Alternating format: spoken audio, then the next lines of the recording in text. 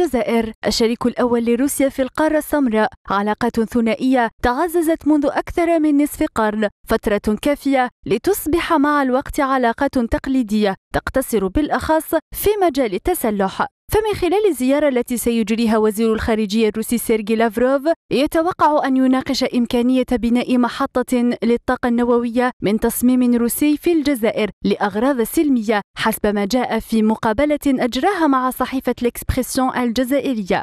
ولأن الأوضاع الأمنية في سوريا وليبيا جد مضطربة. أوضح الجانب الروسي أن هذه الملفات ستكون محل نقاشات ومشاورات مكثفة مع السلطات الجزائرية فتكثيف وتوحيد الجهود لمحاربة الإرهاب بطريقة فعالة وبدون ازدواجية هي نقطة أخرى سيركز عليها لافروف خلال زيارته للجزائر. وأشار وزير خارجية موسكو إلى أن الدول المشاركة في منتدى الدول المصدرة للغاز بما في ذلك روسيا والجزائر لا تضع أمامها مهمة تحويل المنتدى إلى أوبك للغاز ولن تقوم بفرض شروطها على سوق الغاز الدولية.